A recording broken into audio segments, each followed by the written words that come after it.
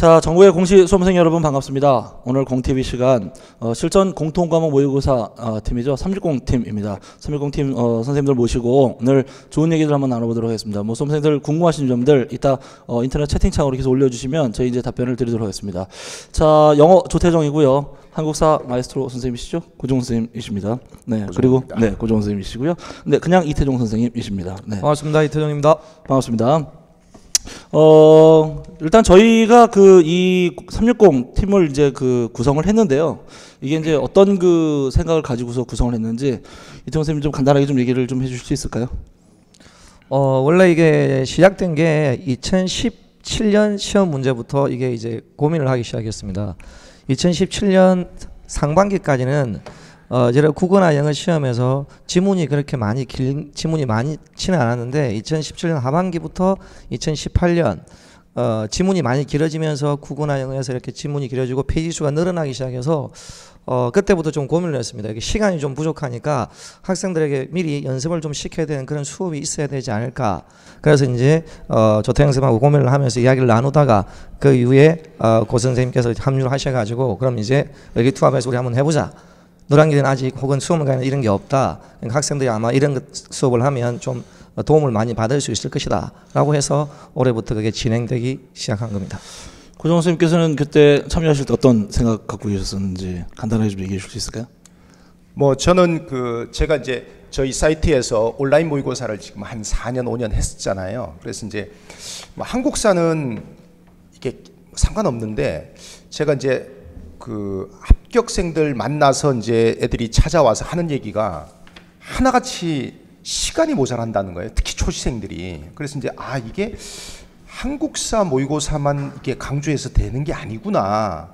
그래서 이제 그렇다면 이제 선택 과목은 이제 뭐 워낙 선택 과목이 또 다 다르니까 그래서 이제 그러면 이제 국어 영어 한국사 이 공통 과목 필수 과목만이라도 이렇게 모의고사를 진행해 보면 어떤가. 사실 제가 이태종 선생님한테 제가 전화를 드렸어요. 근데 저 제가 전화를 드린 거는 온라인 모의고사를 하자.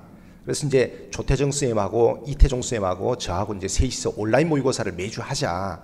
그 얘기를 드렸는데 이태종 선생님이 저한테 평소에 이런 걸 고민을 계속 했었다. 그래서 이제 오프라인으로 먼저 하자. 그래서 이제 이 그 대개 이제 그 만나가지고 한두 시간 만에 쿨하게 동의가 됐어요. 그래서 어 작년 어 추석쯤에 이제 의기투합을 좀 해서 어 그래서 이제 작년 11월 하순부터 이제 저희들이 진행을 하게 됐거든요. 근데 이제 해보니까 어 저는 사실 뭐 우리가 지금 여덟 번 진행을 했는데 어 지금 드는 생각도 정말 하기를 잘했다.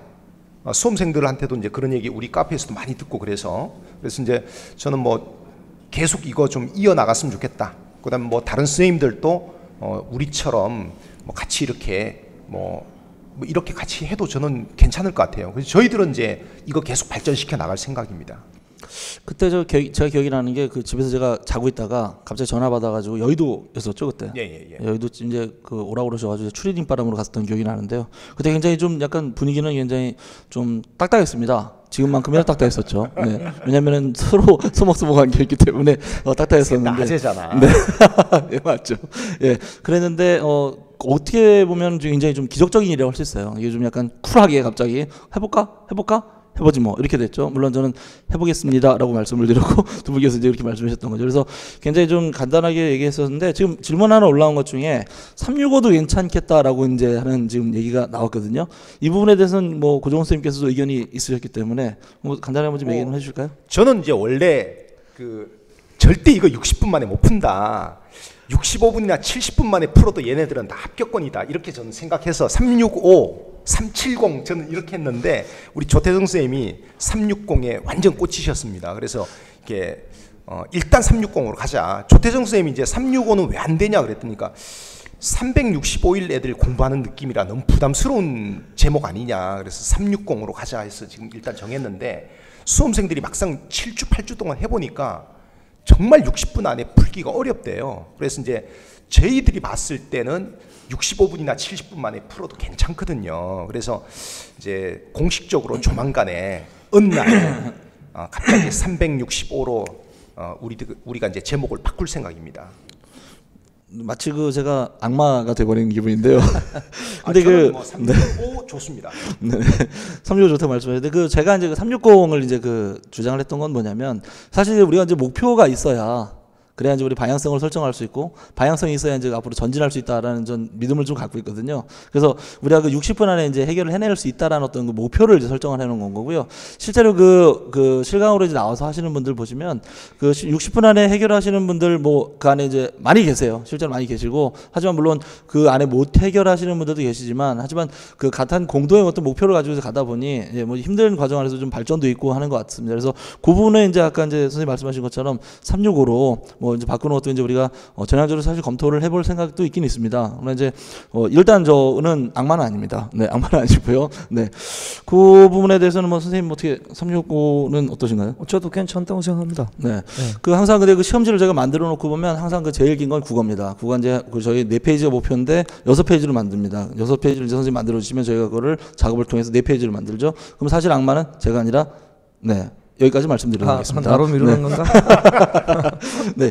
오늘 저 분위기가 좀 약간 뭐 저 아까 보니까 딱딱해 보인다라고 말씀하셨는데요. 이게 이제 사실은 좀 저희 좀 핑계를 내자면 이게 제가 그 받았던 그 콘티하고 이제 좀 달라요. 좀 내용이. 그래서 조금은 좀 약간 좀 그런 부분이 있습니다. 그래서 좀 어 양해를 좀 구하겠고요. 그걸 이제 여러분들 채팅으로 네, 채팅으로 이제 어, 소화를 해주시면 됩니다. 이제 재밌는 내용들 많이 올려주시면 저희가 그 내용들 가지고서 이제 어, 우리가 올리도록 그도록 하겠습니다.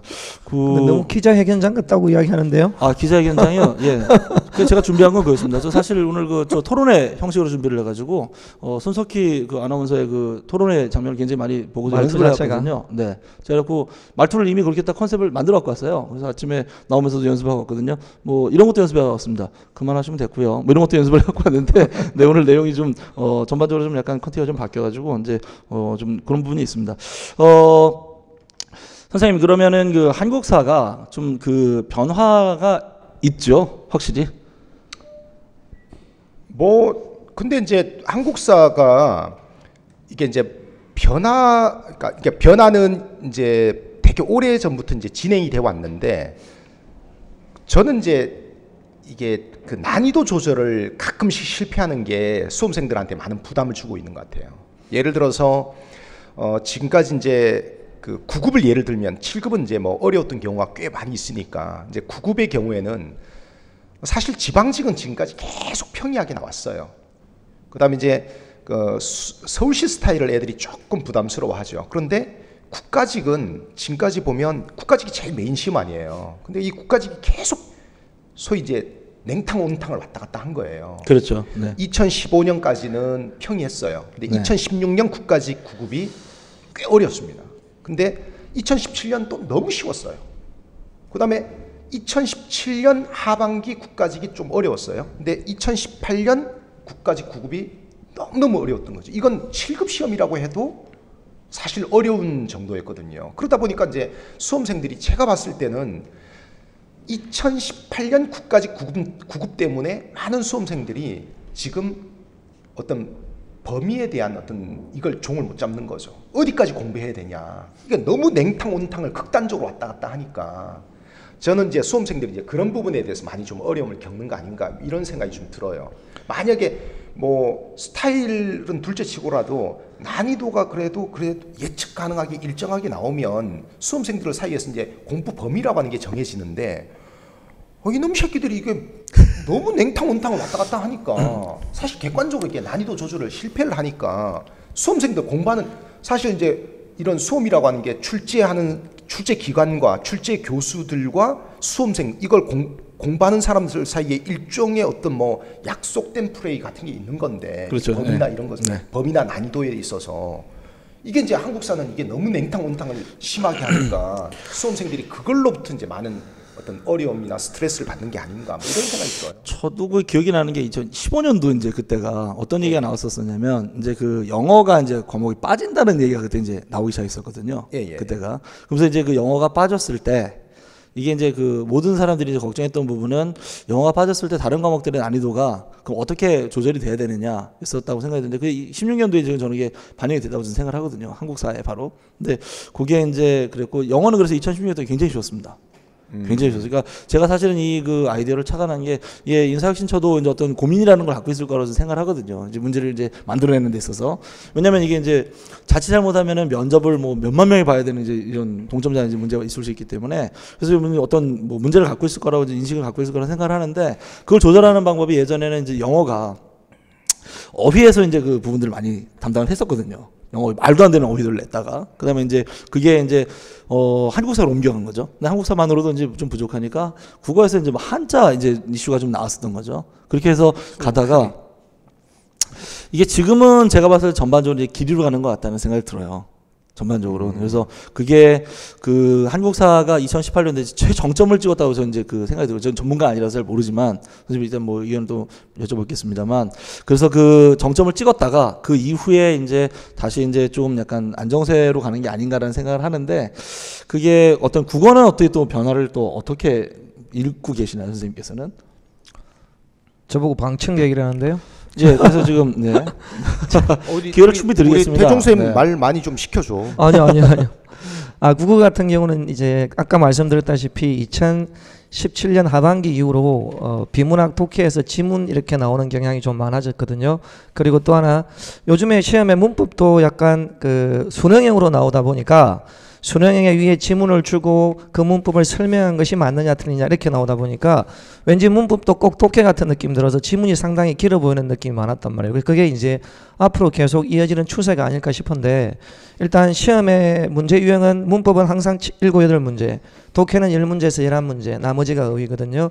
근데 이제 지문이 있다 보니까 시간적인 측면 이런 것들이 결국은 어, 발목을 잡을 수가 있습니다. 그런데 어, 독해 공부하실 때는 항상 이제 어, 어떻게 지문을 읽고 다 풀겠느냐 그거는 실제로 안 되는 거거든요. 그러니까 문제에 따라서 문제 유형에 대한 접근이 필요합니다.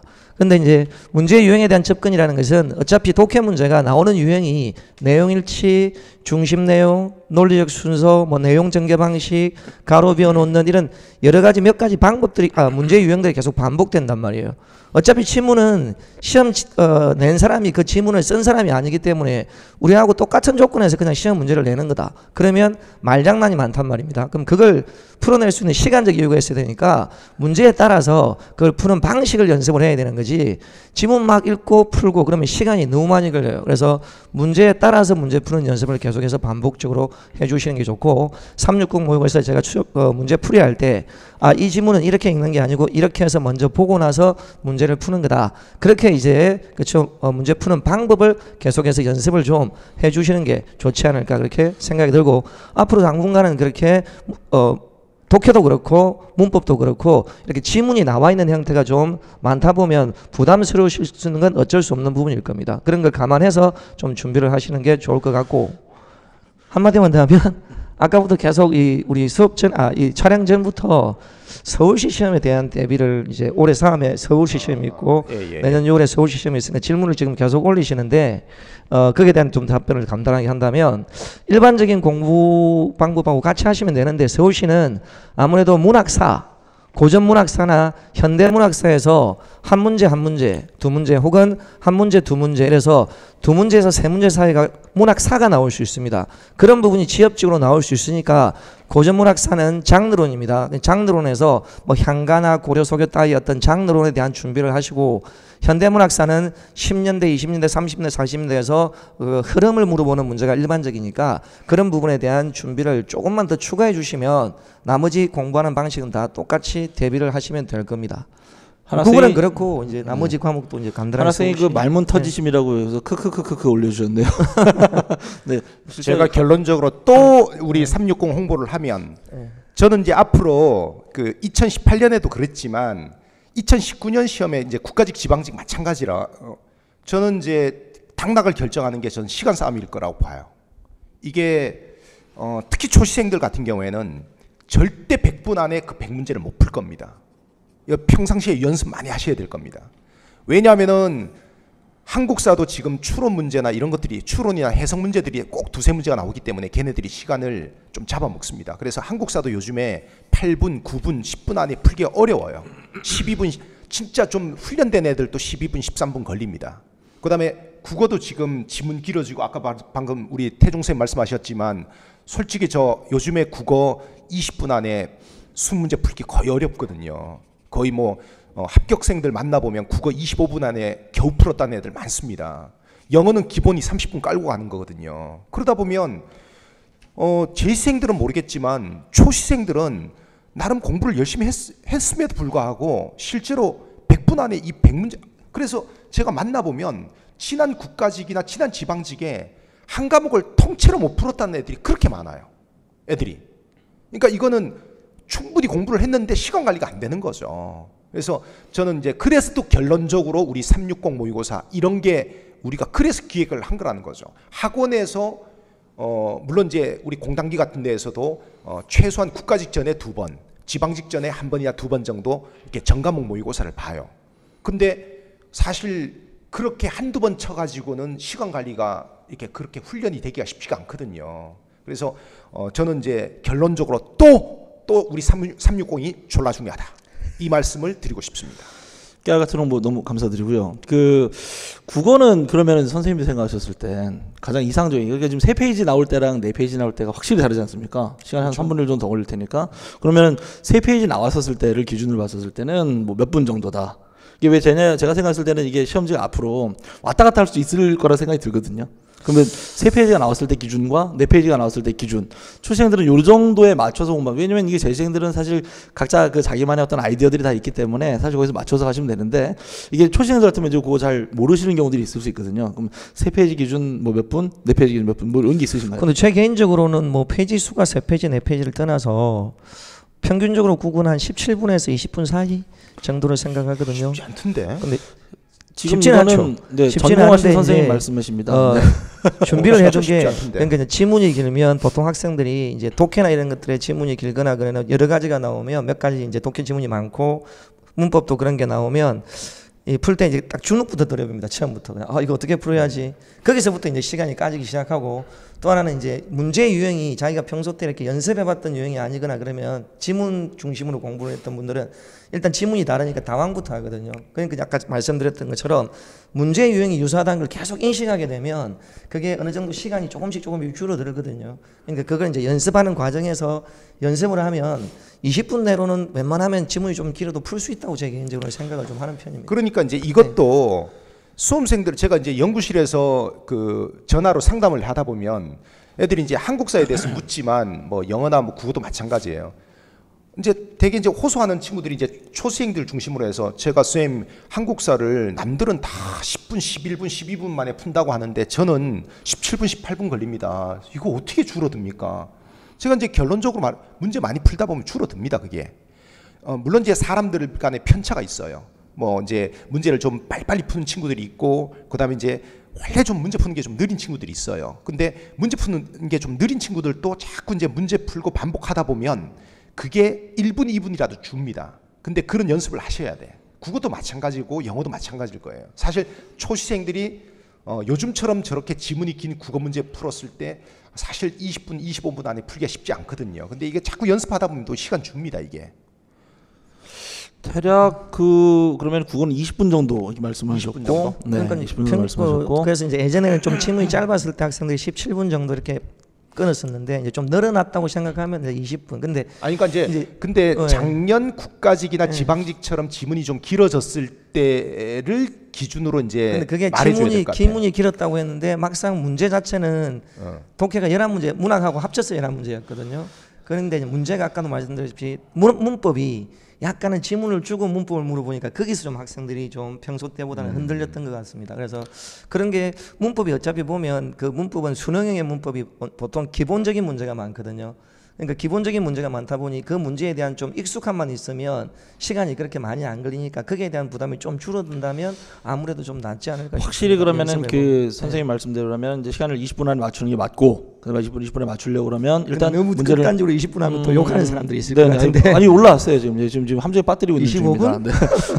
근데 한 20분에서 뭐 25분 사이 와- 하는데 그게 이제 가능한 것은 어차피 나오는 유형 자체가 뻔하기 아, 때문에 유형 자체가 네. 비슷하니까 그 안에서 대한 연습이, 연습이 연습이 필요하다 이런 말씀이신 거죠. 거죠. 네, 그러니까 저도 영어에서 이제 그런 말씀 드리거든요. 그러니까 영어에서 잘하는 분들은요 18분 안에 해결하세요. 이거는 어, 제 제자 중에 한 분이 실제로 이제 하고 오신 겁니다. 18분 안에 했고 전체 총 해고서 15분이 남았대요. 맡기까지 끝내고 이제 이런 이런 학생들도 있어요. 극단적인 예죠. 근데 그거가 사실 도달할 수 있느냐라고 물어봤을 때 저는 불가능하다고 봐요. 이게 애초에 완전히 베이스가 없는 상태로 오셨는데 18분 안에 해결을 한다. 이건 쉽지는 않습니다. 근데 어 물론 이 학생 같은 경우 케이스는 이제 no, no base로 와서 이제 하신 거예요. 그래서 좀 이게 좀 약간 좀, 좀 약간 좀 특이한 케이스라고 좀 말씀을 좀 소개를 드린 건데 그거를 어떻게 이제 이 학생은 해결했냐면 저는 이제 그렇게 말씀을 드려요. 이제 그 이태원 선생님 말씀하신 것처럼 그 유형이 사실 딱 정해져 있습니다. 이제 뭐 어휘가 네 문제 나오고 뭐 문법이 네 문제가 나오고 생활영어 두 문제 나오는데 사실 독해가 그 안에서 나오는 비중이 딱 정해져 있어요. 그게 그래서 주제 두 문제 무슨 뭐 빈칸 두 문제, 그 다음에 내용의 일치불일치가 두 문제 세 문제, 그 다음에 뭐 문장 삽입 삭제, 그 다음에 뭐 어순 배열 이렇게 딱 나오는 게 이제 포맷이 정해져 있어요. 국가직이 완전히 딱 정해져 있습니다. 근데 이렇게 되게 되면 내용의 일치불일치 문제 같은 경우는 시간이 확실히 많이 걸립니다. 그럼 이거를 뒤로 돌려놓고 몇 문제가 나왔는지를 보고 최악의 경우에는 정말 가장 길게 나온 내용의 일치불일치 문제 정도 한 문제 정도를 정말 못 풀 수도 있다라고 생각을 하고 이제 돌려놔라라고 저는 얘기를 하거든요. 그래서 항상 내용의 일치불일치 문제는 뭐 21번, 내용의 불일치 어, 문제는 뭐 22번 2번, 3번 보면 23번 이렇게 돌려놓고서 그걸 나중에 시간 많이 걸리는 문제들 한꺼번에 풀어라 이렇게 말씀을 드리거든요. 근데 그렇게 해서 연습을 이제 꾸준히 하시는 거죠. 하다 보면 사실은 이게 그 안에 아까 말씀하신 시간도 뭐 20분, 뭐 25분 요 사이에 하는 게 과연 불가능하냐라고 봤을 때는 저는 불가능하지 않다고 봐요. 왜냐하면 지금 저희 360 하는데 이게 그 영어가 거의 항상 4페이지 나가요. 거의 항상 영어 4페이지 나옵니다. 그러니까 실제 시험에서는 3페이지 정도 나오는데 저희 거의 항상 4페이지 나오거든요. 그리고 어 제가 얘기를 들어보니까는 제 제자들이 어 한국사 생각할 게 너무 많다고 얘기를 하더라고요. 그, 그 간단한 문제 한국사 없다고. 네. 실제 시험보다 어렵게 내고 있어요. 네, 그러니까 우리 그거를- 동영 모의고사로 보면 한 시즌 2 수준으로 내고 있어서 실제로 우리 그 한, 한국사 이게 지금 이제 그 360 모의고사에 내는 한국사는 여기다가 한 10점 정도는 더해야 실전 점수. 그러니까 실전이 이제 예를 들어 작년 지방직 9급처럼 좀 평이하게 나온다고 하면 어, 지금 360 점수에서 한 10점은 더 더해야 됩니다. 그래서 그런 점들을 다 감안을 했었을 때 그럼에도 불구하고 이걸 해결해내는 학생들이 꽤 많다라고 생각하면 사실 도달이 불가능한 시간이라고 말했을 때 저는 그건 아니라고 봐요. 그래서 그거를 좀 연습을 많이 하시는 거죠. 목표를 설정을 해놓고 하시다 보면 그 안에 이제 뭐 다 안 이루어질 수 있습니다. 그래서 이제 그렇게 하는 거고 하나 더 이제 말씀을 드리고 싶은 건 뭐냐면 이게요 다섯 과목을 어쨌든 쭉 풀어버려야 되잖아요. 그럼 이게 문제가 뭐냐면 항상 마음이 쫓겨요. 그래서 연습을 하실 때 시간을 좀 정해놓고 좀 약간 거의 맞춰서 하려고 좀 약간 다급한 마음을 하고 하는 게 중요한 건 실제 시험장 가면 무조건 어떤 상황이든지 쫓깁니다. 그러면 이제 그거를 어 평소에 연습을 좀 해서 극복하는 연습을 해놓으시는 거죠. 그렇게 하면 어 모르겠어요. 뭐 동영 모의고사 시즌을 가게 되면 뭐 특히나 더 그렇게 하셔야 될 것 같은데 연습을 해놓으시면 확실히 실제 시험장 가면 연습이 실전처럼 실전 연습처럼 되는 그런 어떤 뭐 신기한 어떤 경험이랄까 이런 것들을 하실 수 있기 때문에 저는 좀 그런 부분들을 좀 강조를 좀 해드리고 싶고요. 어 지금 질문 올라온 것 중에 그 복습에 관련된 거. 복습에 관련된 거 이제 얘기 나오거든요. 그러면 한국 사는 뭐 선생님 뭐 특별한 뭐 복습에 관련된 거 뭐 이렇게 좀 하시나요? 제가 그 잠깐 또 이렇게 또 결론은 우리 360 또 홍보. 그 네, 감사합니다. 이 지금 어 우리 현장에 지금 1월 달에 12월 달에 우리가 이제 한 300, 한 2, 30명 정도가 참여를 했었는데 지금 이제 1월 달에 이제 유료로 전환되고 나서 260명 정도가 지금 현장에 지금 참여를 하고 있어요. 그런데 어, 보통 이제 노량진의 분위기가 어떠냐면은 다들 선생님들이 이제 농반진반으로 그런 얘기를 해요. 수강생이 100명이 현장에 앉아 있으면 종합반 같은데 종합반이나 단과에 한 100명 정도 앉아 있으면 여기서 보통 한 명, 두 명 붙는다 이런 소리를 해요. 이게 이제 실제로 우리 공시 경쟁률이 그만큼 세다는 거죠. 보통 30대 1, 50대 1 되니까. 근데 이제 우리 제가 360 모의고사 항상 이제 그 통계 정리해 갖고 우리 카페도 올려 드리고 제가 이제 국어 영어 한국사 제가 통계 이제 정답률 같은 거 유심히 보거든요. 저도 이제 나름 이제 이 360 모의고사에 애착을 많이 가지고 있으니까 근데 이제 제 결론은 뭐냐면은 지금 참여하는 260명 정도 중에서 현재 합격권에 있는 사람은 어, 대략 한 40명에서 50명 수준이에요. 그러니까 이제 어 그 일행 기준으로 하면 전국 일행 기준으로 하면 조, 이게 조금 더 적을 수도 있어요. 한 한 30명 정도 될 수도 있고 그다음에 이제 컷 낮은 직렬까지 포함하면 한 50명까지 50명이나 한 60명까지 볼 수 있어요. 그래서 지금 제가 세 과목 평균이 이제 300점인데 300점 중에서 제가 보통 220점에서 240점 정도 수준이면 60분 안에 그 정도면 이제 어 앞으로 물론 이제 조금 더 만들어 나가야 되겠지만 이제 합격권에 있는 그러니까 속할 수 있다 이렇게 보는데 어 지금 이제 그 그만큼 이제 상당히 지금 합격권에 있는 나름 준비가 된 친구들이 이 모의고사를 현장에서 치고 있다는 거예요. 물론 이제 지방에 있는 친구들은 지금 어 이렇게 계속 매달마다 봉투 모의고사 형태로 계속 이렇게 나올 거예요. 예스 24 같은 데서 사가 사서 자기가 이제 시간 내서 풀면 돼요. 풀면 되는데 물론 이제 노량진만큼의 어떤 그 긴장감이나 현장감은 좀 떨어지겠지만 뭐, 뭐 어쩔 수 없죠. 본인이 시간 재갖고 하면 되니까. 그런데 어 그만큼 지금 이제 그 이 현장에 있는 친구들이 되게 그 저는 이제 이 정도면 한 250명 정도 중에서 250명, 260명 중에서 지금 현재 한 40명에서 60명 정도가 현재 이미 합격권이라고 하는 거는 어 굉장히 좀 저는 고무할 고무적이라고 생각하거든요. 그래서 어 뭐 물론 이제 한국사를 놓고 보면 과목별로 놓고 보면 이제 훨씬 더 합격권에 있는 친구들이 더 많죠. 그런데 이걸 세 과목을 합치다 보니까 그다음에 또 거기다가 시간이 부- 부족하니까 시간 부족해서 특정 과목을 다 못 푼 친구들도 현장에서 굉장히 많습니다. 그래서 어 내가 이 얘기 왜 하지 지금? 네, 이게 우리가 원래 아니, 의도했던 뭐 결론은? 네, 입니다. 네, 결론은 어, 360. 결론은 지금 네, 결론은 좋다, 360입니다. 지금. 네, 맞습니다. 아, 상당히 좋다 지금. 네.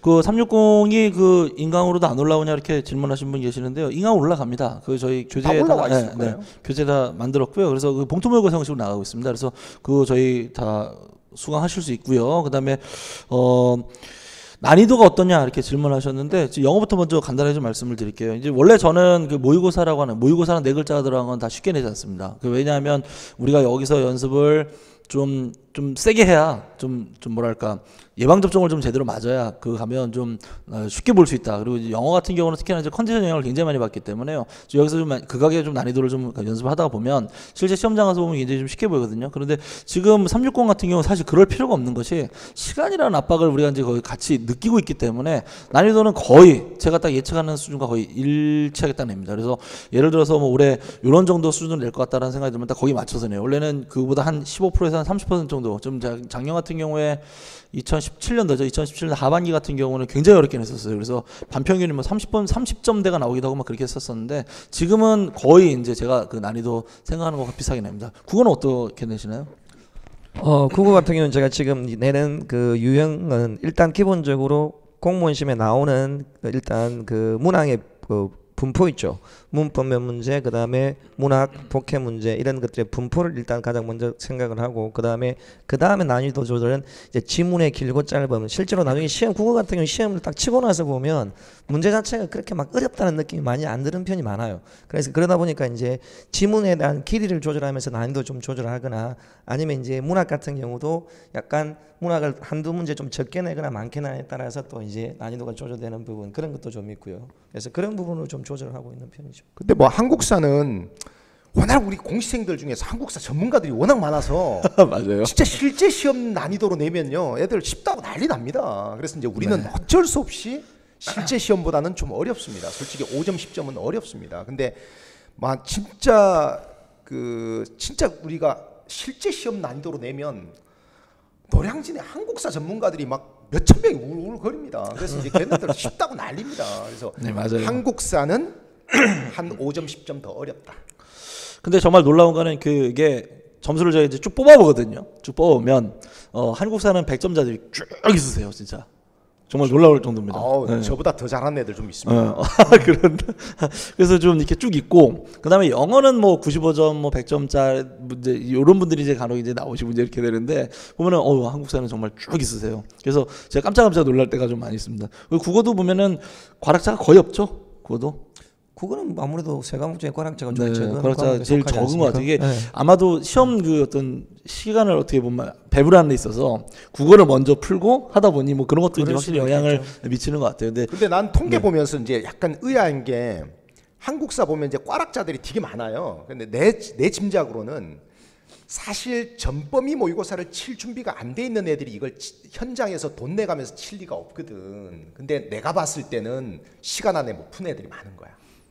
5분을 늘리면 5분 나아질까요? 늘리면 꽈락자 수는 좀 아, 줄어들겠지. 줄어들까요? 그러니까 내가 봤을 때는 한국사가 아, 꽈락을 받을 정도는 아닌데 그다음에 꽈락을 받을 정도면 사실 전범위 모의고사를 칠 준비가 안 돼 있다는 거고 그 친구들이 왜 비싼 돈 내가면서 이걸 신청하겠냐 그 제가 봤을 때는 특정 과목을 꽈락이 나오는 이유는 시간이 모자라서 못 푼 거야 애들이. 그러니까 실제로 대화를 해봐도 큰 애들이 좀 순서가 원래 국어, 네, 영어, 네, 한국사 네, 순서로 네. 마지막에 푸니까. 그러니까 뭐 네. 아마 순서를 국어를 먼저 풀고 그러다 보니까 한국사를 제일 나중에 푸는 경우에는 진짜 내가 봤을 때 꽈락 나올 점수는 아니 아니 그, 그 정도 난이도는 아닌데 꽈락이 꽤 있어요. 그래서 이게 내 추측컨대는 이 못 푼 거야 시간이 시간이 모자라서. 이게 갑자기 든 생각인데요. 이게 뭐 의미 없는 질문일 수 있겠습니다만은 순서는 어떻게 푸는 게 가장 이상적이라고 생각하시나요, 선생님께서는? 뭐 수업 시간에 이렇게 뭐 학생들한테 뭐 지도하시는 그런 내용이 있으신가요? 저 같은 경우는 수업 시간에 이제 일단은 국어를 먼저 풀라고 이야기를 하긴 합니다. 그 하는데 근데 이제 한, 아까 말씀하셨다시피 한국사들 고수들이 있지 않습니까? 한국사 아예 잘하는 그분들은 이제 한국사를 7분 만에 풀기도 한다고 그러더라고요. 7분 10분 사이에. 맞아요. 그럴 뻔- 그런 경우가 되면 아예 그냥 한국사를 빨리 풀어놓고 편안하게 국어 풀고 영어 풀면 시간이 좀 여유가 있잖아요. 그래서 그런 조절을 좀 하려고 하긴 하는데 항상 국어를 먼저 풀라고 합니다. 저는 그 근데 이제 먼저 풀고 뭐 사실 지나가라고 하니까.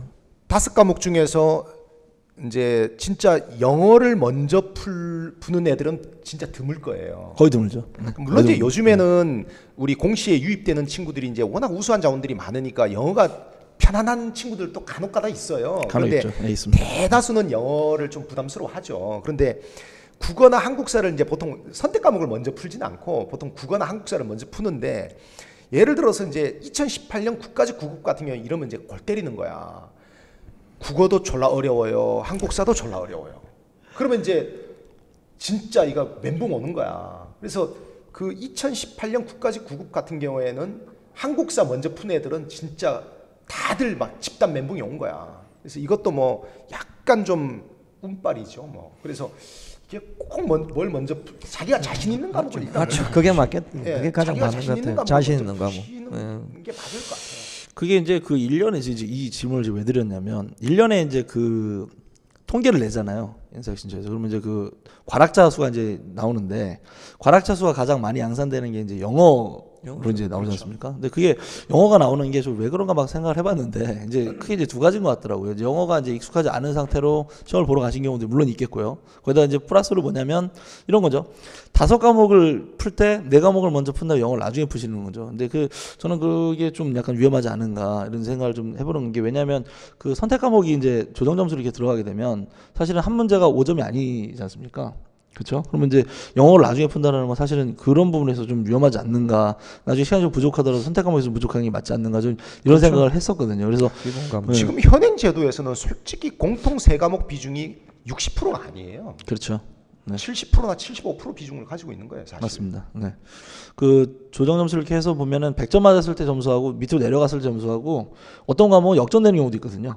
그게 음. 네, 중간에서 역전되는 경우도 있습니다. 그래서 그게 사실은 그 점수가 아까 그 시간을 배분함에 있어서 이제 사실 영어를 이제 그 뭐랄까 뒤로 이렇게 미루는 건 좀 바람직하지는 않은 것 같아요. 그래서 성- 공통 과목 세 과목 안에서 조정을 하는 건 맞을 것 같지만 좀뭐 그래서, 자기가 예, 예. 자신 있는 과목을 먼저 하는 네네네네 그렇게 하지만 그런 것 같고 그 아까 잠깐만. 네네 역사적 뭐, 뭐 역사 관련 기사들을 보면 뭐 이런 것이 뭐 출제에 반영되냐 사실 그거 신경 쓸 필요 없습니다. 그냥 올해는 그냥 대한민국 임시정부 3.1운동 100주년 딱 그것만 명심하시면 되고 나머지는 신경 안 쓰셔도 돼요. 무슨 뭐 유적지 새로 나왔다고 애우실 필요 없고요.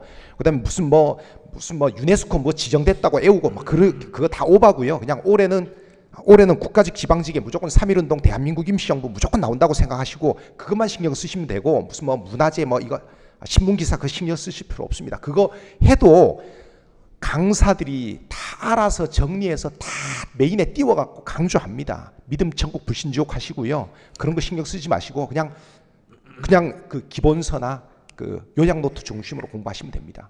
다, 대답 되셨죠? 아까 이거 계속 복사 붙이기로 아, 예, 그런 것 같아요. 계시더라고. 예, 예, 쭉 올라오시네요. 근데 그 지금 반대 두 분이 이제 360이 좋다라고 말씀하시네요. 이제 뭐 시간이 좀 부족해도 그게 좋다라고 말씀하셔서 이 부분은 좀 토론을 좀 해보겠습니다. 네. 결론 닥치고 결론은 네네.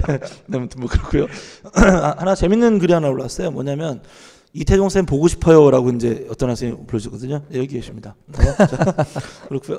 아까 그 저 영어 그 질문 관련해 가지고 계속 올라오는 질문 하나 있는데 영어 독해 복습 어떻게 하면 좋아요라고 이렇게 물, 어, 질문 주셨거든요. 그 이거 문프라고 관련해서 제가 설명을 좀 간단하게 좀 드릴게요. 이거는 영어는요. 어, 독해는 풀었던 문제를 다시 푸는 거 사실 거의 의미가 없습니다.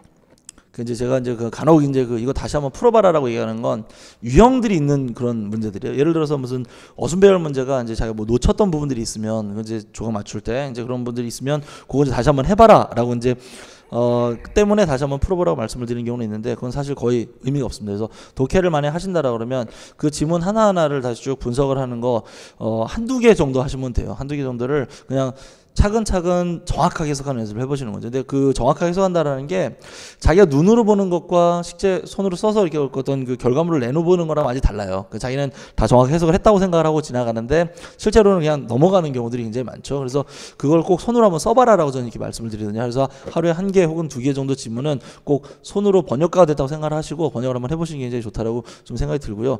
문풀을 좀 많이 해보라고 좀 말씀드립니다. 이게 왜 마- 그런 말씀을 드리냐면 우리가 결국은 객관식 시험 100문제 풀러 온 사람들이잖아요. 그러면 문풀은 최대한 많이 할수록 경험치가 쌓이는 거거든요. 그래서 어지간하면 문제를 좀 많이 풀어봐라라고 좀 말씀을 드려요. 그래서 준비가 조금 되면 바로 이제 문제 푸는 어떤 그 방법에 좀 익숙해질 수 이렇게 좀 하라라고 좀 말씀을 드리는 편이죠. 국어는 선생님 어떻게 뭐 문제풀이 뭐 이런 것들은 어. 하시는 편인가요? 국어 같은 경우는 이제 복습 아까 이야기하셨는데 복습하실 때 문제 풀고 나서 자기가 좀 부족한 영역이 있을 겁니다. 그 부분에 대한 걸 어디에서 보느냐면 기출 문제의 그 영역을 한번 보십시오. 그리고 유형들을 한번 살펴보세요. 같은 문제 파트라도 유형에 따라서 자기가 실수하는 부분이 있거나 유독 자주 걸리는 그죠 그 부분에서 좀 난감해하는 부분이 분명히 생길 수 있고 그게 시험에 나오면 아마 시험에서 틀릴 거예요. 그 부분을 기출 문제를 한번 보시고 나서 그 다음에 그 부분 을 해결할 수 있는 이론 그러니까 항상 공부할 때는 그 전 단계로 돌아가서 한 번 더 확인하는 연습을 좀 더 해주시는 게 맞습니다. 문제 틀렸다고 해서 새로운 문제 찾아가지고 또 풀고 하는 것보다 그 전 단계에 돌아가서 내가 좀 안 되는 부분의 이유가 뭔지를 확인하고 보는 게 가장 좋을 것 같아요. 그래서 기출 문제 영역 한번 확인하시고 나서 그 부분에 필요한 이론을 다시 한번 대입해서 정리를 하시는 게 더 좋은 방법일 것 같고 그리고 앞에 지금 한 두 번 정도 어 계속 질문 올라왔던 것 중에 하나가 내일 360 순서를 올렸는데 계속 물어보더라고요. 아그 잘못 나간 거예요. 저 네, 그 내일 조태정 조태정 쌤 쌤. 그 개인 사정 때문에 먼저 하시고 선발 그- 투수입니다. 그다음에 네, 저 선발 투수. 중간 개투입니다. 중간 개투 마무리 투수 마무리 투수입니다. 네, 네, 네. 아, 네. 그렇게 도망가시면 안 돼요. 자, 한 번만 더 하나 더 아까 또 두 번 이상 어떤 질문 중에 하나서 하나인데 어, 군무원 준비하시는 분이 문학사를 공부해야 되느냐고 어, 말, 어, 말씀을 하셨는데 군무원은 지역 지역적인 시험이 많아서 어, 문학사나 기본적인 문학 이론 같은 경우도 한 번씩 꼼꼼히 보고 들어가시는 게 좋습니다. 아시겠죠? 지금 또 질문 올라온 게 하나 이제 있는데 기출 관련된 거거든요. 선생님 그 한국 사는 기출이 중요하죠? 당연하죠. 네.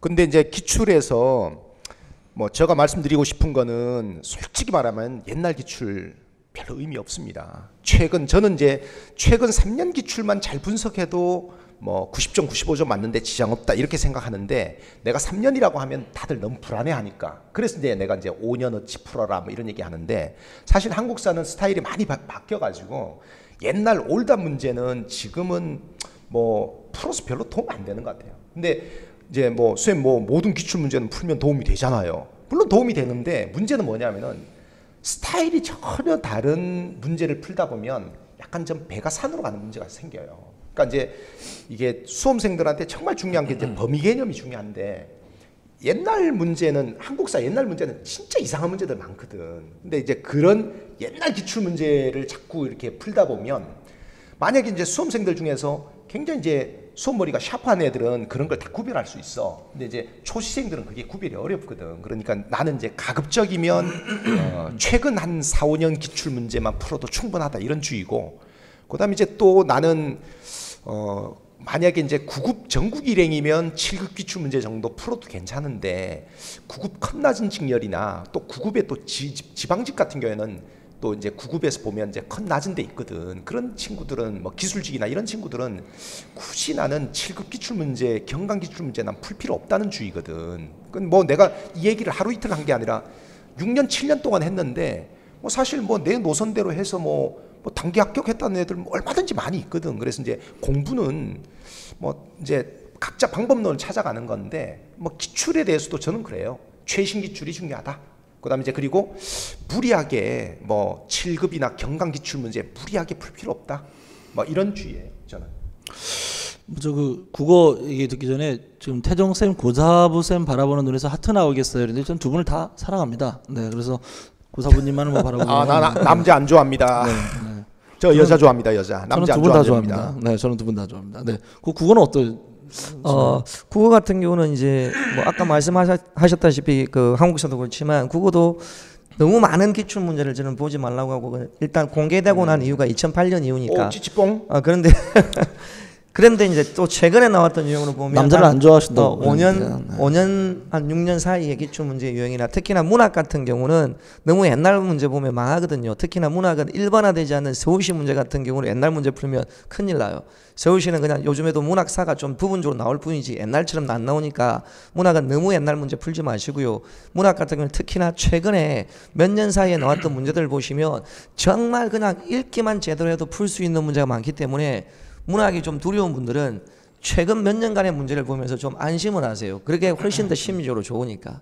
그리고 문법 같은 경우는 뭐 공개되고 난 이후나 전이나 바뀌지 않았다면 기본적인 요소가 다 비슷하기 때문에 단 문법이나 이런 거는 최근에 나온 문제가 수능형이 좀 나와, 나와서 지문 해설 지문을 두고 설명을 물어보는 문제이기 때문에 거기에 대한 좀 익숙함 그것만 좀 익숙하게 되면 상당히 기본 문제이기 때문에 그런 건 쉽게 풀 수가 있으니까 문제에 대한 익숙함만 좀 만들어 두시는 게 좋을 것 같고 그것만 좀 주의하면 특별하게 좀 문제가 없는데 단 이제 기출 문제 보면 3번 볼 때는 그렇게 문제나 이런 것들을 파는 게 필요하고 두 번째는 계속 보다 보면 답이 외워지는 형태가 있기 때문에 그것보다는 기출 문제 한 두 번 보는 분들은 자기가 필요한 영역만 일단 뽑아서 왜 내가 이걸 틀렸는지 그걸 확인하는 작업을 하는 게 좋을 것 같고 그냥 계속 문제만 풀다 보면 답이 보이니까 그건 별로 그렇게 좋은 것 같지는 않습니다. 한번 보고 나서 그 다음부터는 뽑아서 필요한 문만 두 번째 보는 게 좋을 것 같습니다. 참고적으로 오늘은 조태정 선생님이 사회야. 우리 역할 분담이 우리 내부에 돼 있어요. 그래서 조태정 선생님은 자기 이야기를 잘 못하는 거야. 이게 지금 사회를 지금 사회를 보셔야 되는 분이야. 아, 뭐 자기 뭐 이야기 안 한다고 이야기 올라오나? 아니요, 그렇지 아니 아니 않습니다. 그게 아니라 네, 이제 그건 아니고, 예. 사회자 같으시다고 그러는데 아, 사회자 사회자 맞아. 같은- 사회자 아, 사회자야. 맞아. 같으면 안 되는 거 아닌가요, 그러니까? 양복도 입고 왔어요. 네. 그 영어는요 기출을 제가 좀 의미가 없다라고 좀 말씀을 드립니다. 그 이제 문법 같은 경우는 이제 기출의 의미가 있을지 모르는데 그건 어차피 포인트를 선생님이 이제 선생님들이 잘 정리를 해주기 때문에 사실은 이게 큰 의미가 없고 독해는 사실 같은 질문이 다시 나오는 경우는 극히 드뭅니다. 또 어휘도 사실 뭐 극히 드물기 때문에 사실은 좀 새로운 문제를 좀 많이 풀어봐라. 좀 말씀을 드리고요. 그래서 영어를 기출을 두 번 풀어본다. 사실 이거는 전 큰 의미는 없다고 보고 이미 사실은 어, 어떤 게 있느냐면 기본 이론을 그 공부하는 단계에서 거의 대부분 다 기출 문제를 다 가르고 지나가요. 그러면 독해 같은 경우는 특히나 이제 답이 다 기억이 나는 경우가 굉장히 많기 때문에 사실은 뭐 영어에서는 큰 의미가 없고 새로운 문제를 많이 풀어야 된다고 좀 말씀을 드리고 그래서 저희는 그 연구소에서 계속 새로운 문제를 만들어냅니다. 그래서 그런 부분이 있다라는 걸좀 아, 알고 계시면 좋을 것 같아요. 네. 아 이거 지금 질문 중에서 그 국립국원에서 친족 호칭 받겠다는 게 오늘 그 신문에 났었거든요.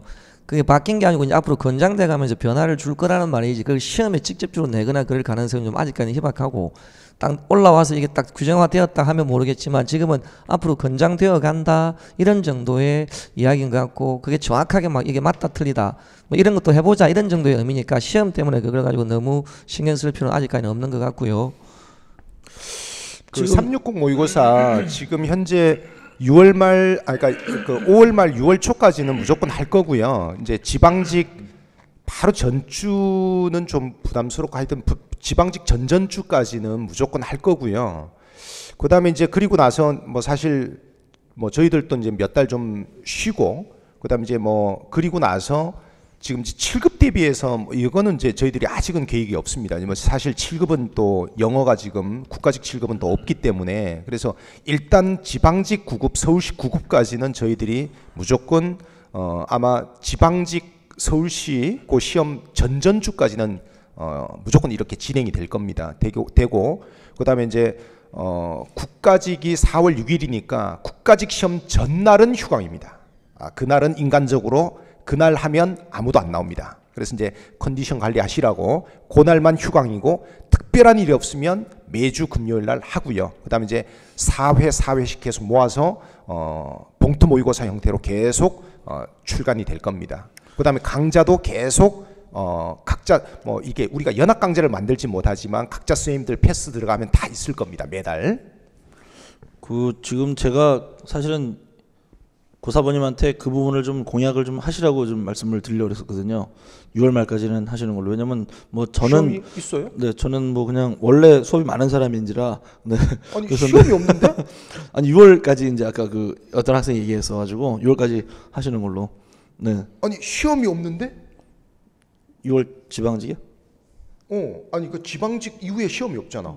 아니 6월까지. 6월까지. 네. 그러니까 지방직 전 네, 그 주를 전- 얘기하는 전- 겁니다. 아, 네, 예, 6월까지를 얘기하는 건 이제 그런 얘기를 하는 거예요. 지방 예, 예. 전까지를 얘기하는 거죠. 네, 네. 그래서 좀 그 말씀을 좀 드리려고 했더니 선생님께서 먼저 이제 치고 나셨기 때문에 네, 그건 이제 그렇게 알고 있겠고요. 그, 그 영어 어휘 공부 지금 질문 계속 올라와가지고 그거 잠깐만 간단히 좀 설명을 좀 할게요. 영어 어휘는 사실 복불복입니다. 이게 자꾸 틀리는 건 사실 어쩔 수가 없어요. 이게 왜냐하면 정말 말도 안 되는 어휘들을 시험에 낼 때가 간혹 있거든요. 그래서 이거는 사실은 뭐이 부분을 감안을 하시면 안 되고 이 부분이 사실 뭐 어, 적중이 100% 되면 참 좋겠는데 그렇게 되지는 않습니다. 그래서 이제 그거는 어떻게 하시는 게 맞냐면 그 부분은 사실 약간 좀 밀어놓으시고 어차피 합격에 필요한 점수라는 게 어, 100점은 아니거든요. 그래서 그러면 좀 이제 그건 살짝 밀어놓고 나머지를 이제 완전하게 만드시는 게 중요합니다. 잘못하면 이게 왜 그러냐면 영어가 단어가 다른 언어랑 달리 거의 뭐 한 뭐 한 세 배 많게 뭐 네 배 많게 이렇게 많거든요 어휘 수가. 그래서 정말 잘못 어휘의 그 함정에 빠지게 되면 한두 끝도 없어져요. 그러면 정작 중요한 문법이나 독해 또는 뭐 생활용 이런 부분들 을 놓쳐버리게 되기 때문에 그래서 어휘는 네 문제 중에 두 문제 정도는 쉽게 나오고요. 두 문제 정도는 어렵게 나오는데 그 이제 두 문제 어려운 거는 살짝 어, 놓으셔도 괜찮다고 말씀을 드리겠고 지금 17년도부터 17년도부터 어떤 그 트렌드가 하나 보인다라면 그건 이디엄이에요 이디엄. 그러니까 정말 터무니없는 문제를 한, 한 문제 정도 이렇게 내긴 내지만 사실은 이디엄이 좀 많이 강조돼서 나오는 편이기 때문에 생활 영어라든지 또는 뭐 어휘 문제라든지 이렇게 많이 나오고 있기 때문에 그건 이제 이디엄 좀 많이 좀 학습해 주시면 되겠습니다. 그래서 그 부분은 제가 어 지난달에 다 찍어놨어요. 이제 그래서 어 시험에 나올 법한 것들 이제 이디엄을 어 그것도 사실 그것도 이거 이디엄도 계속 보다 보면 한도 끝도 없거든요. 그래서 딱 요만큼만 합시다. 범위를 딱 정해놓고 한 번 보면 암기할 수 있도록 그렇게 이제 찍어놨으니까 그거 이제 참고해 주시면 될 것 같다는 생각이 듭니다. 어, 한자 공부 이야기가 좀 나와서 네 한자요. 제가 네. 말씀드려도 될까요? 어 지금 한자 공부가 아까 중간 중간에 나왔었는데 그 이번에 이제 나온 게 단어 위주로 팁 좀 알려달라고 하시는데 솔직히 제가 수업할 때 한자 공부는 이렇게 단어를 위주로 공부하지 말라고 하거든요. 왜 그러냐면 단어 위주로 하면 무한대의 단어가 나와서 근데 혹시나 이제 어차피 하다 보면 단어가 보이니까 그렇게 공부하실 때 팁으로는 그 단어가 문맥에 쓰였을 때 어떤 식으로 쓰인다 뜻을 확인할 수 있는데 혹시나 그거하고 같은 의미 있는지 한번 사전에 찾아보세요. 그러면 확실하게 뭐가 달라지느냐면 부수가 확실하게 다르게 되어 있어요. 예를 들어서 뭐 나무하고 관계 있으면 나무 목자가 있을 거고 말하고 있- 하는 것 관계 있으면 말씀 음변 이렇게 분명히 있어서 다른 음은 같지만 뜻이 다른 것들은 부수가 확실하게 달라요.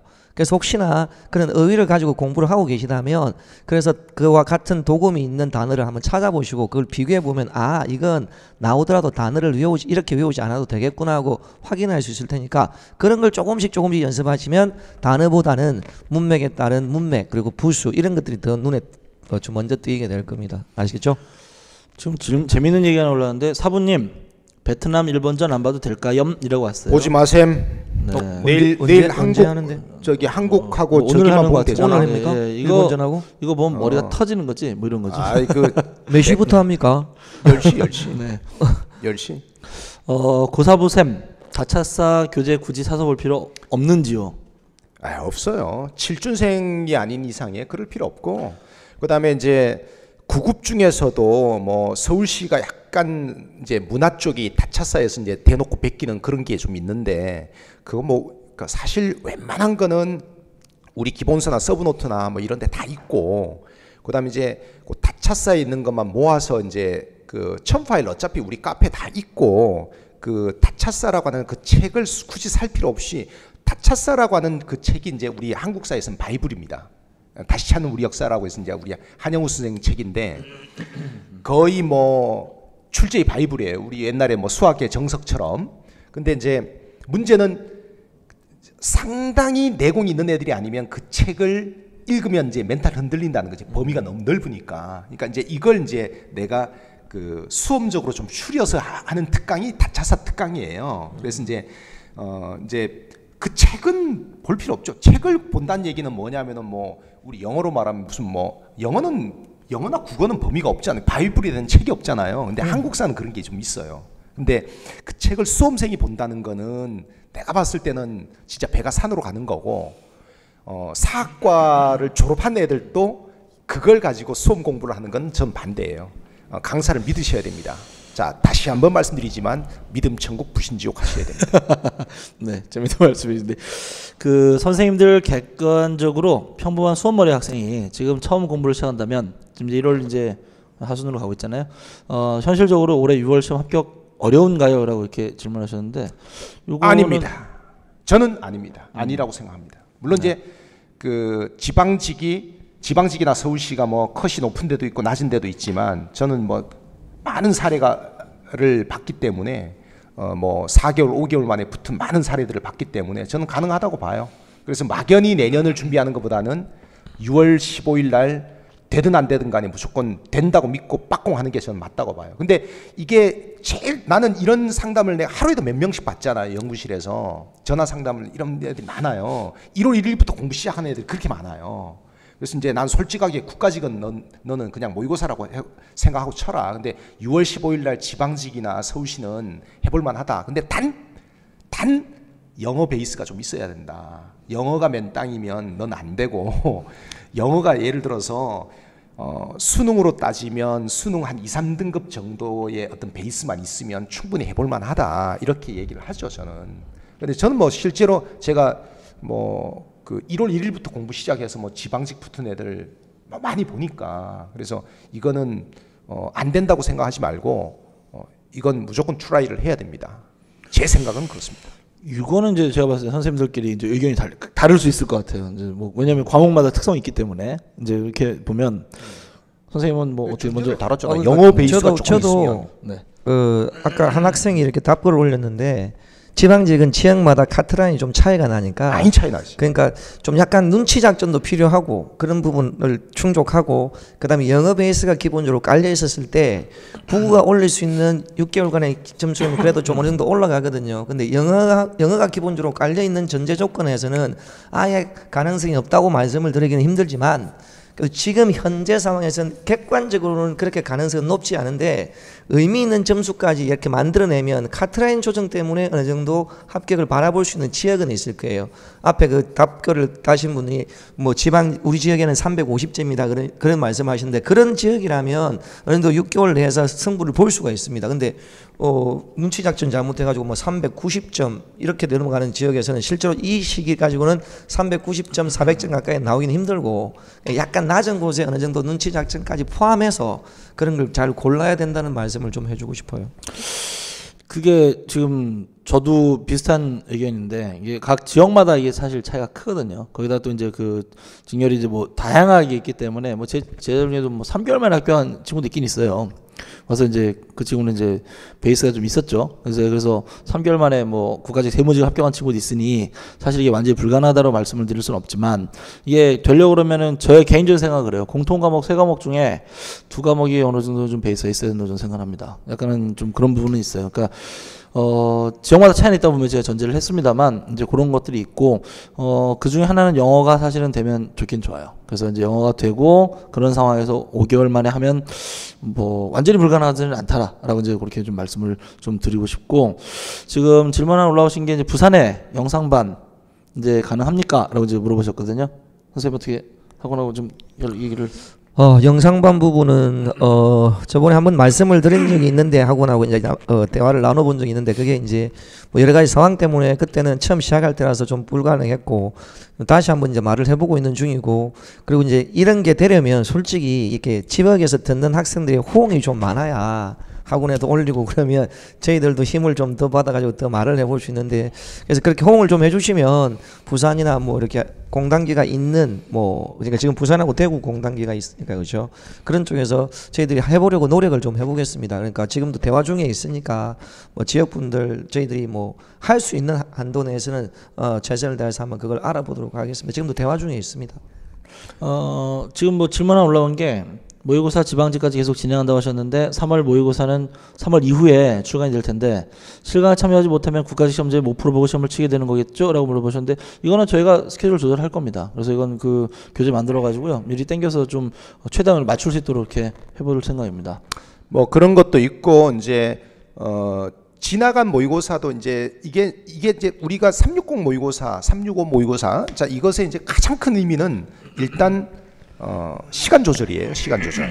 그러니까 실전 감각, 시, 시간 조절. 그래서 이제 요거는 뭐 12월 호나 1월 호를 푸셔도 괜찮습니다. 괜찮고 뭐 2월 호를 푸셔도 괜찮습니다. 이거 뭐 이걸 모두 다 안 하셔도 돼요. 근데 제가 봤을 때 저희들이 권장하는 건 어 4회나 8회 정도는 꼭 해보시라는 거죠. 국가직 전에 4회나 8회 정도는 꼭 어, 국어, 영어, 한국사만이라도 어, 마지막 2주 동안은 어, 하루에 이 60문제씩 푸는 연습을 좀 해보시라는 거예요. 그리고 저희들이 이제 그 봉투 모의고사도 그 출판사 사장하고 의논해가지고 최대한 그 뭐 지금 이제 저희들이 이제 원래는 어 4회를 어뭐 15,000원 정도 예상을 했었는데 어 출판사 사장님이 1,000원이나 2,000원 정도 더 다운 시킬 수 있는 여지가 있다고 그래서 저희들이 이제 선생님들하고 의견을 모으고 있어요. 그래서 최대한 그 봉투 모의고사도 어좀 이렇게 가격을 확 좀 다운 시켜 가지고 여러분들이 좀 부담 없이 좀 어 국가 직 전에 뭐 돈 때문에 뭐 이거 뭐 그 부담스러워서 이게 못 풀고 뭐 이러 이러지는 말자 해서 좀 최대한 좀 다운을 좀 시킬 생각이에요. 그래서 어 저희들이 권장하는 건 국가직 전에 큰 시험 전에 최소한 4회 또는 8회 정도는 어 이걸 시간 재고 한번 해보시라는 거예요.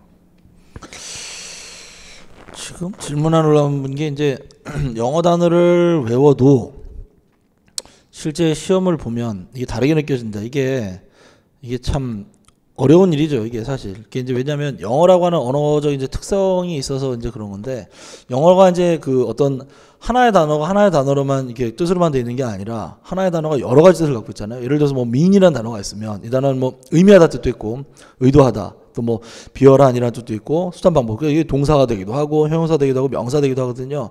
그래서 이거를 사실은 그래서 어떤 게 있냐면 외워도 사실은 그게 미안합니다. 그 뜻으로 쓰였는지를 알 수가 없는 경우들이 많아요. 그래서 저는 뭐라고 말씀을 드리냐면 본인이 아직 독해 자체에 익숙하지 않으시면 단어장 단어를 외울 게 아니라 독해 책에 있는 단어를 먼저 외운 다음에 그 단어를 적용하는 연습을 해보는 게 좀 필요하다고 말씀을 드려요. 왜냐하면 하다 보면 그러면 그 지문이 어떤 그 특색이 있을 거 아니겠습니까? 예를 들어서 뭐 과학적 지문이라면 그 과학적 지문에선 요 단어가 요런 뜻으로 쓰인다. 뭐 예를 들어서 서브젝트란 말이 우리가 이제 뭐 주제란 뜻으로 쓰기도 하고 주관의 뜻으로 쓰기도 하고 이제 뭐 문장에선 주어의 뜻으로 쓰기도 하고 다양하게 쓰잖아요. 그러면 그거가 과학 지문에선 실험 대상의 뜻이 됩니다. 실험 대상, 즉 피실험자가 되는 거죠. 어떤 그런 어떤 그 맥락적 특색이랄까 이런 것들을 좀 캐치를 해내면 확실히 적용이 잘 돼요. 그래서 처음에 아예 그 독해 자체에 익숙하지 않으신 상황이라면 기, 어, 단어장 단어를 먼저 외우실 것이 아니라 단어 그 독해책 안에 있는 단어를 먼저 외우시는 거죠. 그래서 실제 적용하는 연습을 많이 해보시면 그건 확실히 금방 늘어납니다. 그래서 그렇게 한번 해보시면 좋겠다라고 생각을 좀 드리고요. 어, 시간이 좀 많이 지나가서 이제 그 저 마무리 전략 이제 얘기를 좀 안 할 수 없잖아요. 그래서 이제 선생님 이거 한번 네, 보내주시는 어, 거 어때요? 네, 네. 혼자 푸는 사람들이 많을 거 아니에요. 또 네, 네, 실감을 네, 못 네, 사람들 네. 아, 점, 점수가 안. 나오면 좀 신경이 많이 쓰인다는 좀 고민이 올라온 것 같은데. 그 뭐 모든 수험생이 다 그렇죠. 그러니까 이제 모든 수험생들이 어, 다 그런데 뭐 물론 이제 너무 점수에 연연해 하지 말아야 되는데 어, 저는 이제 만약에 이렇게 봉투 모의고사를 사서 풀었는데 너무 점수가 진짜 너무 안 좋다. 쉽게 말하면 이제 예를 들어서 뭐 세 과목 합쳐갖고 65분 동안 풀었는데 세 과목 합쳐갖고 이게 200점이 안 나온다 그러면 아직 전범위 모의고사를 칠 준비가 좀 덜 돼 있으니까 사실은 어 잠깐 요건 사실 시험 임박해서 해도 되거든요. 그래서 지금 이제 어 차라리 어 뭐 기출 문제를 좀 더 푼다든가 뭐 그다음 이제 요약 강의를 좀 더 듣는다든가 혼자서 이제 뭐 OX를 좀 더 빡세게 한다든가 이런 식으로 해서 내공을 조금 더 만들어 가시고 하셔도 된다. 그래서 너무 이렇게 뭐 이렇게 토요일 매주마다 그렇게 스트레스 받아가면서 그렇게 하실 필요는 없어요. 저희들도 뭐 어 무슨 뭐 그렇게 그 절대 저희들이 그렇게 권하는 건 아니에요. 모든 사람들이 지금 전범위 모의고사를 쳐야 되는 건 아니에요. 너무 부담 갖지 마시라고 말씀드리고 싶습니다. 지금 뭐 지금 얘기를 좀 닫으려고 그랬더니 계속 이제 뭐 질문 올라오는 게 영어 단어 질문 많이 오시는데 자 하나씩 순차적으로 말씀드릴게요. 영어 단어장은 한 권을 열어보는 게 보는 게 좋나요? 네 맞습니다. 한 권을 열어보시는 게 훨씬 낫습니다. 그리고 안에서 여러 가지 뜻을 같이 외우시는 게 좋아요. 그래서 하나의 단어를 하나의 뜻으로만 기억하지 마시고요. 하나의 단어를 여러 개의 뜻을 같이 갖고 하시는 게 좋고요. 그 다음에 서울시 7급 대비 커리 좀요. 이거는 저희 카페에 올려주시면 제가 상세하게 답변을 드리겠습니다. 지금 지금 시간 관계상 이걸 다 말씀을 드릴 수는 없을 것 같고 같은 지문을 여러 번 보는 거는 의미가 없습니다. 그래서 새로운 지문을 보는 게 훨씬 더 낫습니다. 그리고 영어 단어가 매우 약한데 360 한 번도 영어 단어를 안 틀렸어요. 혹시 단어 문제 너무 쉽게 내시는 건 아니고 절대 그럴 리가 없습니다. 네, 왜냐하면 저희가 정답지를 어, 체크를 해보면 실제 그렇지 않습니다. 그 확인해서 저희가 이제 다 올리고 있기 때문에 그 확인해 보시면 그렇지 않다라는 걸 확인하실 수 있을 겁니다. 결국은 영혼의 끝에 가면 갈수록 뭐예 그렇네요. 어, 그렇죠. 네. 그럼 마무리 좀 뭐 전략 뭐 간단하게 좀 한번 말씀해 주실 수 있을까요? 네. 어 국어 같은 경우는 뭐 마무리 전략이라는 게 뭐 따로 있다기보다는 아까 제가 말씀드렸다시피 국어는 딱 정해진 영역이 있고 반복되는 영역이 있습니다. 그리고 문법에서는 딱 틀이 있고 독해에서는 문제 유형이 딱 정해져 있습니다. 그걸 갖다 계속 익숙하게 자기가 준비를 하는 과정을 여러분이 거쳤어야 돼, 아, 거치고 있는 중인데 준비하기보다는 준비할 때는 앞에 말씀드렸다시피 이거 풀 때 점수 안 나오면 그 점수에 너무 신경 써서 스트레스 받지 말고 잠시 접어두더라도 그 부분에서 자기가 틀린 부분 다시 복습을 하세요. 앞으로 돌아가서 그러면서 일정한 그 부분에 대한 정리가 다시 되었을 때 그 문제를 다시 한번 복귀하는 것도 필요할 거예요. 그래서 문제 풀 때 안 풀린다고 너무 많은 문제를 찾아다니지 마시고 지금 이 시점쯤 되면 실제로 문제 찾아다닌다고 막 이렇게 돌아다니면서 여기저기 문제 풀고 있는 분이 생각보다 많아요. 그러다가 잘못 주워 먹어서 배탈 날 수도 있습니다. 그러니까 그것보다는 차라리 지금 푸는 이 문제 그쪽에서 부족한 부분을 다시 복습하면서 채우는 게 더 좋지 않을까 그렇게 생각을 하고 있습니다. 한국사는 이제 그 지금 이 그 태종 선생님 말씀하신 거랑 조금 또 결이 좀 다른 얘기인데 이 과목의 유독 특성상 애들이 이제 그 이제 좀 있으면 이제 설이 지나고 나면 본격적으로 이제 시험 시즌으로 가요. 시험 시즌으로 가는데 이게 객관식 시험이기 때문에 이게 무조건 이제 문제 푸는 게 중요하거든요. 근데 보면 상당히 많은 사람들이 진짜 멍하게 요약, 요약 노트 달달달 외우고 있다는 거죠. 이거는 진짜 이건 어, 잘못 공부하고 계신 겁니다. 시험 시즌에는 기본적으로 이 객관식 시험은 문제를 풀어야 되는 거다.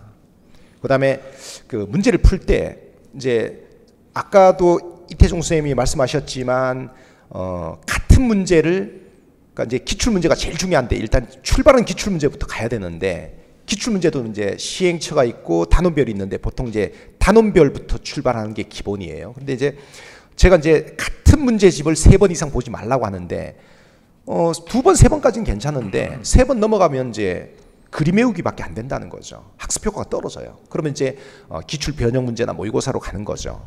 근데 어, 일단 뭐 문제 위주로 공부하라고 어, 말씀드리고 싶고 시험 시즌에는 그다음에 이제 어, 시험 시즌에는 어, 진짜 절대 러닝 타임이 긴 이론 강의 이런 거 지금 듣고 있으면 안 됩니다. 이론 강의 이론이 부족해서 들, 듣는다면 좀 이렇게 짧은 압축 이론 강의를 들으시고 그다음에 좀 마음속에 있는 결벽증, 완벽주의 이거 살짝 좀 내려놓으세요. 이론이 부족하다고 해서 이제 대부분 또 이렇게 긴 이론 강의를 처음부터 끝까지 듣습니다. 그러다가 또 삼국시대에 뭐 발에 나가다가 퍼질러집니다. 제발 그러지 말고 여러분들이 6개월 이상 수험 생활을 해봤으면 어차피 약한 데는 뻔합니다. 그 약한 데만 골라서 발췌독이나 발췌 수강을 해도 충분합니다. 어차피 모든 공시생들이 약한 데는 조선전기 문화, 조선후기 문화, 무장독립운동, 대한민국의 걸, 건국, 뭐 뻔할 뻔짜거든요. 그런 데만 골라서 핀셋으로 탁탁 집어갖고 혼자 공, 보완하거나 아니면 발췌 수강을 해도 되거든요. 수험 기간에는 러닝 타임이 긴 이론 강의를 이걸 듣고 있으면 수험생 본인도 되게 사실 굉장히 좀 뭐랄까 좀 어, 답답하고 막 그럴 거예요. 굳이 그렇게 할 필요 없다는 거죠. 어, 제가 그러니까- 조언 드리고 네. 싶은 거는 어, 문제 좀 많이 풀어라. 어, 결국 문제 문제 풀어야 되는 거다. 요약 노트 달달달 외우는 것보다는 문제 푸는 게 훨씬 학습 효- 효과가 높다. 그다음에 이제 두 번째로는 어, 처음부터 끝까지 다 할 생각하지 말고 발췌독, 발췌 수강 뭐 이런 것 해도 된다. 그다음에 어, 좀 이론 강의 들으려면 좀 짧은 압축 이론 강의를 들으라. 뭐 요런 요렇게 저는 이제 어, 말씀 권 권하고 싶습니다. 저도 이제 그 말씀드렸던 게 문제를 너무 많이 푸는 어, 문제를 풀지 말라는 이야기 아니고 너무 많이 푸는 것보다 차라리 선생님 말씀하신. 것처럼 부분적으로 발췌해서 그 부분을 그쵸, 약한 저거- 부분을 보완해라. 뭐좀 그런 거죠. 영혼 없이 양치기 하는 애들 있잖아요. 그건 사실 문제 안 푼 거나 마찬가지거든. 문제 풀 때 좀 영혼 이씨 생각을 좀 해야 되는데 너무 양치기 하는 애들도 솔직히 좀 있어요. 그 영어는 사실은 좀 워낙 그 범위가 방대하기 때문에 이게 이제 그 또 처음 초시생들을 준비하시는 분들이랑 그 처음에 베이스가 있는 상태로 오신 분들이랑 좀 약간 다를 수 있기 때문에 그 좀 좀 접근하는 방법이 좀 다를 수 있거든요. 그래서 말씀을 드리고 싶은 건 지금 아직 그 실력을 쌓아나가는 단계라면은 실력을 쌓아나가는 단계라면은 이것저것 많이 해보시는 게 맞는데 이게 자기가 이제 스스로가 이제 마무리 단계로 이제 진입을 했다라고 생각하시는 분들 같으면 꼭 기억하실 거는 일단은 뭐 새로운 걸 뭘 많이 하시는 건 사실 바람직하지는 않습니다. 기존에 봤던 단어장 다시 외우셔서 자기가 그 뭔가 놓치지 않게끔 이제 어떻게 보면 이제 딱 어, 어, 테두리를 치는 거죠. 그렇게 하는 게 중요하고 문법 같은 경우도 역시 마찬가지로 그 봤던 포인트들 다시 볼 수 있도록 하시는 게 중요합니다. 물론 새로운 문제를 많이 보시는 게 좋기 때문에 요약서 한 번 정도 보시고 그 다음에 짧게 보신 다음에 그 다음에 새로운 문제 많이 풀어보시는 게 맞고요. 그 다음에 그 독해는 저는 이렇게 말씀을 드려요. 매일매일 열 문제를 풀어봐라. 그리고 시간을 정해서 압박감을 느끼는 연습을 해라라고 말씀을 드리고 실제 그 시험장 가는 날 당일날까지도 열 문제를 풀어보라고 저 말씀을 드립니다. 그러면 그 당일날은 아마도 그 자기 영어 실력이 어찌 보면 평생 의 영어 실력 중에 가장 최절정기에 이르는 날일 거 아니겠습니까? 그러면 그날은 뭐 독해가 뭐 열 문제 풀러도 뭐 12분 15분 안에 사실 풀 수 있기 때문에 사실 그 뭐 풀 건 아니거든요. 그렇게 해주시고 그다음에 단어장도 제가 그 3천 단어를 외웠으면 1번부터 3천 개까지 다시 한번 쭉 한번 훑어보고 제가 갑자기 생각이 안 나는 그런 단어가 있어서는 안 되게끔 만드시는 게 굉장히 좀 중요하다라는 좀 말씀을 좀 어, 드리고 싶습니다. 뭐 특별히 뭐 더 하시고 싶은 말씀은 그 말 안 해도 시험 칠 때까지 영어 보지 않을까요? 그럴 그랬으면 좋겠는데요. 저 봤더니 근데 영어 실력이 좀 있으신 분들이 오히려 영어를 나중에 등한시하셔서 영어 때문에 떨어지시는 분들이 간혹 있어요. 이게 왜 그러냐면 영어는 사실은 그 감이 굉장히 중요하거든요. 이제 보면 야구 선수들도 보면은 왜 시합하기 전에 6시 반 시합하기 전에 4시 반에 가서 보면은 뭐 3시나 4시 반 가 보면 방망이 치고 있어요. 이 선수들. 그러니까 감을 살리려고 하는데 우리 그 선수들이 선생님께서 선수들이라고 말씀하시잖아요. 선수들이 보면 간혹 그런 부분을 좀 놓치는 경우들이 있거든요. 그러니까 방망이를 쳐야 되는데 그냥 어 뭐 다른 것 연습하고 있고 이제 뭐 그런 경우들이 있어서 좀 그건 좀 안타깝습니다. 제 시생들은 저는 뭐 제가 제 시생들은 이제 한두 번 쳐봤으니까 큰 시험을 이제 한두 번 쳐봤으니까 이제 뭐 제가 조언 안 해드려도 아실 거고. 근데 이제 그래도 또 뭐 우리 공시생들 중에서 한 3, 40% 정도는 초시생 아닙니까? 근데 그 초시생들은 경험이 없어서 사실 조금 뭐 불안감도 있으실 텐데 진짜 제가 솔직히 말씀드리면 타스 과목 중에서 그 타스 과목 전부 잘 봐야 합격하는 거 절대 아닙니다. 다섯 과목 중에서 세 과목이나 네 과목 정도만 자기가 평소에 생각하고 있던 정도만 봐도 어, 분, 분명히 붙습니다. 이게 수험생들은 너무 이제 그런 어떤 강박관념, 어, 불안감에서 오는 강박관념이죠. 그러니까 이제 결벽증, 완벽주의 이런 게 이제 같이 맞물려 있는데 맞아요. 네 맞습니다. 사실 한국사 꼭 만점 받아야 합격하는 거 아니거든요. 한국사 솔직히 국어 영어 한국사 총점 이 총점이 되게 중요한 거거든요. 다섯 과목을 다 잘 칠 리는 없어요. 만약 자- 다섯 과목을 전부 자기가 원하는 만큼 치잖아요. 그럼 전국 수석합니다. 전국 수석합니다. 그런데 보통 그러질 않습니다. 이게 어, 보통 이제 다섯 과목을 실제로 쳐보면 어, 보통 이제 한 과목 정도는 자기 더, 자기 실력보다 더 잘 봐갖고 인생 점수 받는 경우도 있고요. 그다음에 어, 한두 과목 정도는 사실 조금 어, 좀 망쳤다 싶게 볼 수도 있어요. 그런데 어, 한두 과목을 좀 자기가 평상시보다 한 5점, 10점 더 못 봐도요 합격하거든요. 그래서 이건 무조건 총점이 중요하고 너무 이렇게 마음속에 어떤 부담감, 강박관념 이렇게 이런 거 좀 살짝 좀 내려놓으셔도 돼요. 내가 다섯 과목 중에서 세 과목이나 네 과목만 내가 원하는 정도 수준으로만 봐도 합격한다 이렇게 생각하세요. 알겠죠? 시간 이제 다 돼가지고요. 제그한 말씀만 좀 더 드리면 선생님들 실제 뵈면은 굉장히 연세에 비해서 연세라는 표현이 또 잘 어울리시죠? 네, 비해서 굉장히 동안들이시거든요. 선생님 뭐 학생들한테 마지막으로 해줄 수 있는 뭐 건강 관리 뭐 비결이라든가 뭐 이런 것들 뭐 있으신가요? 전 건강이 좋지 않습니다. 아 예. 건강 관리가 뭐 그런 세게 대로 그, 나오시는군요. 그대로 그대로 네. 하게 하면 안 됩니다. 아 네. 저 그냥 좀. 선생님께서 얼굴만 뭐- 뽀얀 것뿐이지. 아 뭐 저 그런 거 없습니다. 저 6일 술 마십니다. 아 예. 그러면 건강 관리 비결은 역시 술입니다. 네. 피부가 지금 급속히 지금 삭고 있습니다. 지금. 네. 그 뭐 적당한 긴장감 유지하라고 좀 말씀드리거든요. 약간 그 적당한 긴장감을 유지하고 사는 게 확실히 건강 관리는 좀 도움이 되는 것 같고 너무 스트레스 받지 않도록 너무 아까 말씀하신 것 선생님 말씀하신 것처럼 그 완벽주의, 지나친 완벽주의는 사실 그 건강을 해칩니다. 그래서 그 바람직하지 않으니까 어, 그것만 좀, 좀 조심해 주셨으면 좋겠다라고 좀 말씀을 드리겠고요. 그 마지막으로 지금 그 하나 학생이 이제 뭐 최적 점수에 관한 이제 질문을 주셨어요. 그래서 그 사회자 직권으로 네 요청사항을 그 긴급해서 말씀을 드리겠습니다. 그 최적 점수 말씀해 주시고 가장 최적 시간 말씀해 주고 파이팅 한번 해 주시면 어떨까? 아. 최적 점수를 말하면서 최적 점수, 최적 시간, 그다음에 파이팅. 합격하기 위한 최적 점수. 그렇죠. 최적 점수, 최적 시간, 파이팅. 100 점이라고 해야지. 그럼 뭐 90점 이러면 좀 없어 보이잖아요. 영어는 제가 먼저 말씀드릴게요. 먼저 영어는 말씀하세요. 네, 영어 85, 그다음에 25, 파이팅. 말씀드리겠습니다. 저는 한국사 12분. 그다음에 90점. 이거면 된다. 파이팅! 전 국어는 20분 그리고 95에서 90 파이팅. 자, 오늘 아무튼 360 범위를 좀 넓, 넓혀놔야죠. 네, 서울공 선생님들 좀 어, 만나야 뵀는데 어땠는지 잘 모르겠네요. 지금 개성이들이 다 각각 다른 선생님들이 모여가지고 아뭐 이렇게 네. 앞으로 이런 게 좀 더 해보고 싶어도 너무 호응이 좀 적은 것 같아. 아 이게 진짜 호응이 적다고요? 많이 올라온 거 아닙니까? 아니 이게 막 우리가 못 읽을 정도로 정신없이 올라가야 되는데 아, 그렇습니까? 아 이게 학생들이 뭐 저희를 다 배려해 준 거라고 뭐야, 생각합니다. 네. 빠돌이 빠순이들이 너무 없는 것 같아. 아 이게 다음부터는 미리 미리 좀 제가 오늘 아침에 우리 카페에다가 처음 이게 이게 있다고 올렸거든요. 그래서 이게 공감 식탁 이야기 나왔는데요. 우리가 한번 할까요? 공감 식탁이 뭐, 뭔데요? 뭐 아무튼 공당에서 네. 뭐 하는 모양이던데요. 뭐 제가 그 비빔국수를 좀 잘 만듭니다. 아, 네. 저는 비빔국수를 잘 먹습니다. 네. 그러면 오늘 아무튼 뭐 너무들 만나서 반가웠고요. 오늘 뭐 이 오늘 저희 뭐 얘기가 어, 많은 공부에 도움이 됐었으면 하는 바람입니다. 아무튼 앞에 못 보신 분들은 제가 이거 편집해가지고 유튜브에다 올려놓을게요.